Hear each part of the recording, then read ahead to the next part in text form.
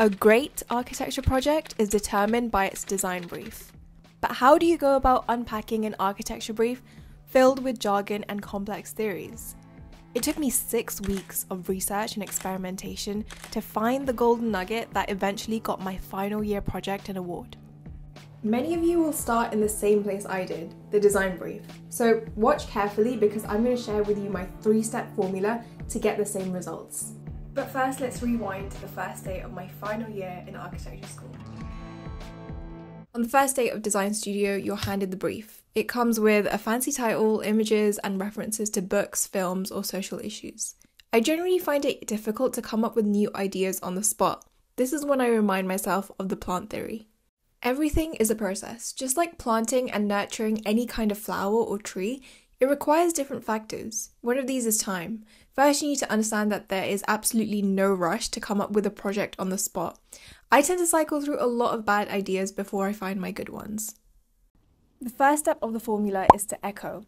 Just like with a plant, you want to find the right soil or environment within which your ideas are going to thrive and develop. Before you even start reading the brief, you need to figure out why and how it's been constructed this way. Usually, tutors will take cues from their own work and interests and drop these into the brief. Sometimes it might relate to a current social issue or a concept that's worth exploring. To understand the context of the brief, it's really worth looking at past versions and compare them against the projects of previous years. Now that you've got a good understanding of previous projects and styles that have emerged from the studio, you can start to read the brief. Not just once, but multiple times. Read it over and over again till the words start to echo in your mind. I know it can be really easy to just skim through and leave it at that, but it's really worth taking a closer look at some of the points and words. If you have an online version of your brief, I would suggest pasting it into a document, setting the line spacing as far as it can go to leave room for annotation, and then printing it out and using a highlighter or a red pen to just comb through the text line by line. Here you're looking for keywords that appear often or underlining the ones you don't really know the meaning of. And this is really important because sometimes architecture briefs can be filled with jargon, so you need to make sure you get what things mean, otherwise, you can interpret it in the wrong way. Even better if a word or a phrase has a double meaning because you can play with this later on. The next thing you want to do is to list out all the bits that caught your attention. You can do this in a mind map or a list or a table, whatever way works for you and however you visualize ideas best. Don't be afraid to get all of your ideas onto paper because even some of the weaker ones can really surprise you. I personally love using Notion to track all my projects. It's how I planned my thesis and stored all of my design research and notes each week. You can get a copy of my Notion dashboard through the link in the description. Step two is to extract all the good seeds that you want to plant and grow. Whether or not you choose to pursue these ideas is totally up to you. If you can see that there's a lot of research or material behind a topic, then this can play to your advantage as there's always something new to uncover. Alternatively, you should be able to identify ideas that don't really work as well, especially if you're not interested in them. If your tutors are offering alternative ideas or avenues, definitely explore them and assess whether they work or not. Before committing to an idea, remember that this is the point in your project where things aren't really set in stone yet. However, this is also the only time you're going to have to change your mind or try other things. So, leaving the decision making till too late will eat into your design time. And on top of other modules and deadlines, it can get really tricky really quickly. Don't spend too long extracting ideas that it becomes the only thing that you do for the next few months, so try and use other media to make your process richer. This could be a documentary, lecture, or podcast you find on the topic. It doesn't need to be a turning point, but it's more just to expose you yourself to other aspects that you might not have thought of. As you grow these idea branches, you'll begin to make connections within, and sometimes this can naturally lead to a problem that you want to solve through your project. For me, the research into Mughal charbaghs, a very precise architectural concept, connected with the symbology and structure of Persian carpets, allowed me to do this. After reading myths and origins of these topics, I realized I could propose a solution to cities that didn't use water sustainably enough.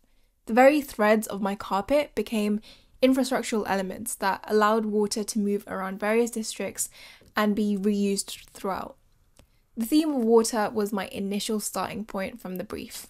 The last step, and probably the most fun one, is to just explore. You'll obviously be doing this throughout the design project to find unique ideas and solutions, but this is where your creative method can really take the wheel. Exploring the brief means that you're allowed to move off and deviate from it, provided that you still have some kind of link or overarching theme that can lead you back to the brief. I think it's really important to do this because it answers the question of why have you designed this way, which often comes up during presentations or crits.